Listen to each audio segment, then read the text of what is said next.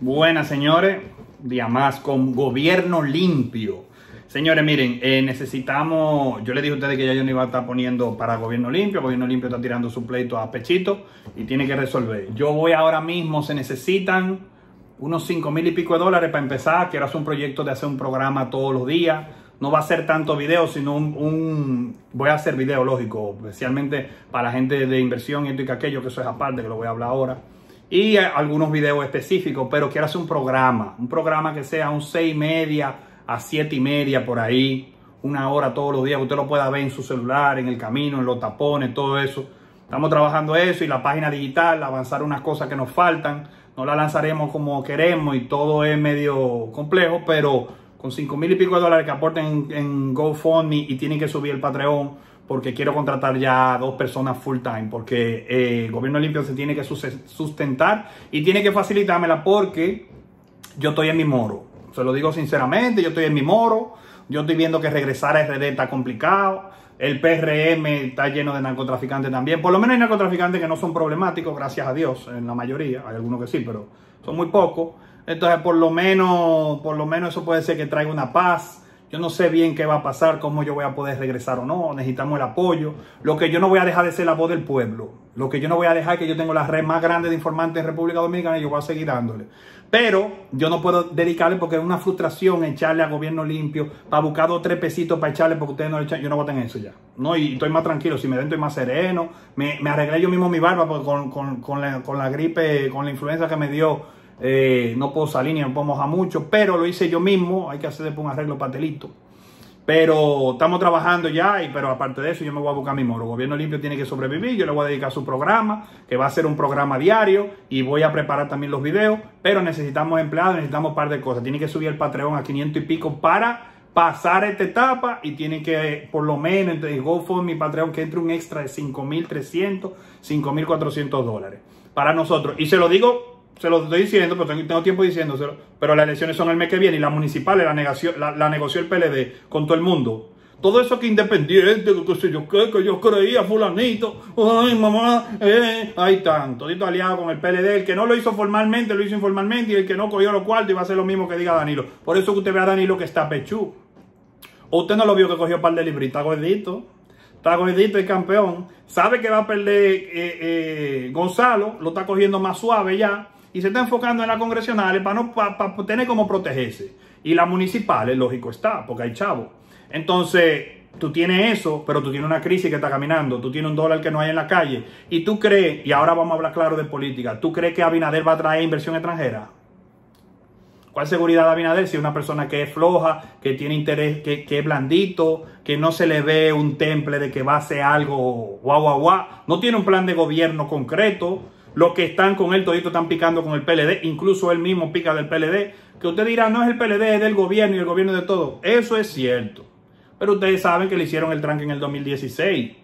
Ya ahora él, ahora que tiene una oportunidad, hay que tratarlo mal paso. Pero ¿qué él va a hacer con eso? ¿Usted ha visto a Abinader denunciando la, podredumbre que hay ahora mismo? No lo, no lo está haciendo. Ni lo está haciendo ni Faride. Faride, Faride apoyaba a Chávez, señores. Al socio de Danilo, de Póstumo. Entonces, miren, esto va a seguir lo mismo y la misma alianza va a seguir con, el, con Venezuela y la misma cosa va a seguir, a menos que los americanos metan presión. Luis puede coger más la presión que Danilo, eso no lo sabemos. Pero tenemos que dividir el poder, tenemos que llegar, porque el que llegue va a ser lo mismo. Nosotros tenemos que ser la voz del pueblo para que el pueblo coja conciencia y entienda que tiene que hacer como se hacía antes, tiene que participar activamente en hacer oposición, ¿eh? porque antes no pasaba muchísimas cosas, porque cuando Balaguer había huelga cada rato, porque habían gente sindicalista que hacían algo. Ahora todos los sindicalistas están gorditos y bonitos, pero el país quebrado. Porque no hay cuarto para darle a robar a todo. Eso no se puede, querido. Eso no se puede.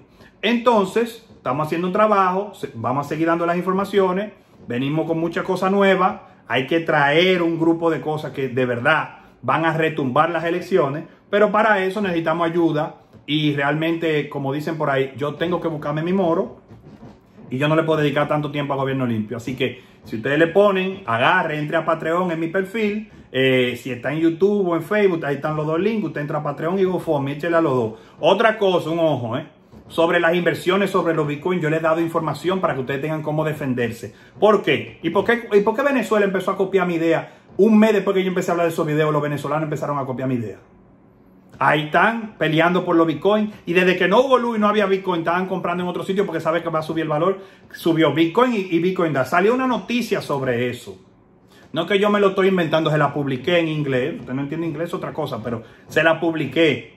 Porque se está especulando eso, porque han encontrado una forma de rebatir eso. Eso se discutió en foros internacionales hace muchísimo. Yo se lo traje a Latinoamérica hablándolo porque ustedes no, la tecnología como que no le quiere entrar. Porque a usted le gusta ganársela con su marrulla o lo que sea. Pero la tecnología es el futuro. Y si usted no se mete en tecnología, ¿cómo usted va a sobrevivir esta crisis? Usted va a necesitar trabajar sector financiero. Si usted agarra y trabaja con criptomonedas, usted va a tener trabajo siempre. Con puestos de bolsa, el que lo hace con Forex le va también. El que trabaje en una computadora y en algo electrónico va a poder sobrevivir en RD. Ahora, el que tenga los trabajos convencionales, ahora mismo no lo consigue. O me va a decir tú a mí que, que está regalando todos los trabajos.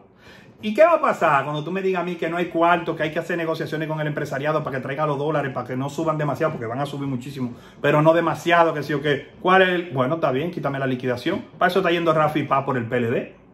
Para que quiten la liquidación. Entonces, tú sabes, lo único que se va a quedar más pobre para mantener la cosa más o menos malísima, pero no tan malísima. Tú. Y va a perder calidad de vida. Tú. Entonces, ¿quién es el que va a perder trabajo? Tú. ¿Quién es el que va a perder el ahorro del pobre, que es la liquidación? Tú. Y entonces.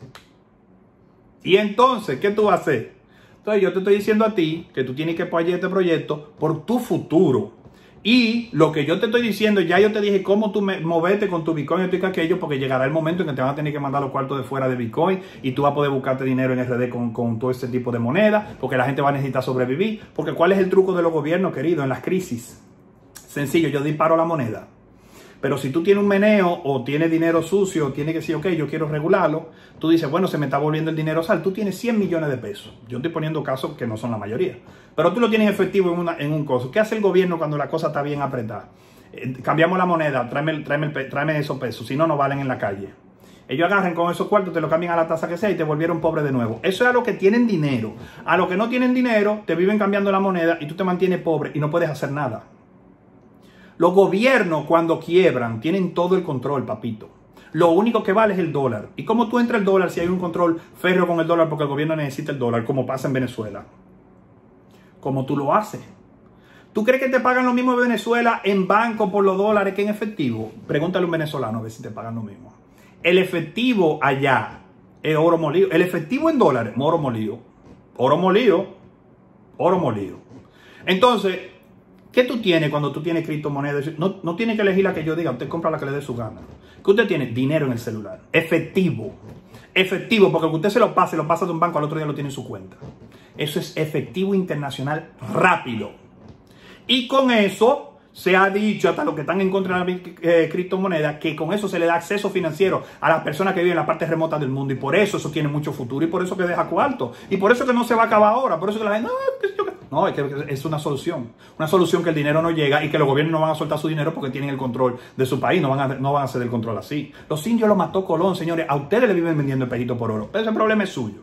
Ahora, yo los tips financieros, ya yo le he dado las herramientas. Usted empieza a meter mano y usted empieza a hacerlo solo. A los que yo le digo, ya, mira, tú puedes invertir con tal gente o tú puedes hacer esto. Mira, esta moneda pues, me parece buena. Está pasando esto. Opiniones y eso y aquello. Yo se lo voy a hacer a la gente de Patreon porque son los que están colaborando. Pero los que están entrando a Patreon ahora porque el que daba 10 dólares antes por la causa, bueno, bien, felicidades y se lo agradezco y están ahí. Siempre le he pedido que donen más de 20 por la, porque se necesita mucho más recursos. Los cálculos están hechos de cuando yo, cuando yo digo en 20, no en 10.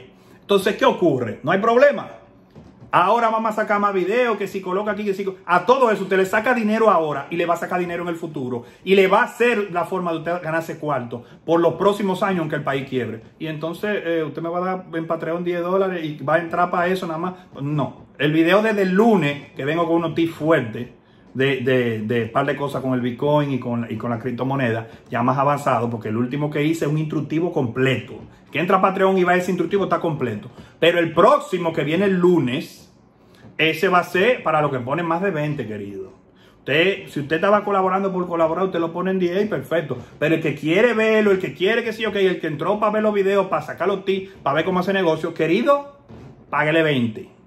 Estamos trabajando, seguimos. Y quiero decirle algo aparte de todo, y es que a todo eso que me tiran, todo eso, yo información tengo de sobra, informante tengo todos los días, y yo siempre he estado guardando, yo siempre he vivido tranquilo, yo estoy buscándome mi moro, no tengo problema. Ahora, ustedes saben que yo soy una persona que bota un petillo un día porque está incómodo, y entonces yo agarro pam, pam, y le saco dos o tres cositas a aquellos que están burlándose de mí, que qué sé yo qué. Yo no le paro a nada de eso, porque ahora yo estoy en moro, yo no estoy en ustedes. Ahora yo voy a seguir sacando informaciones, y entonces puede ser que en esas eh, informaciones yo le agrego una cosita de ellos, que no tenía que agregarla, pero lo vamos a hacer para que la cosa se ponga buena. Venimos con todo. Gobierno limpio, se le quiere. Feliz año 2020, que se lo dije, pero ahora se lo digo con amor, porque estoy activo. Gobierno limpio.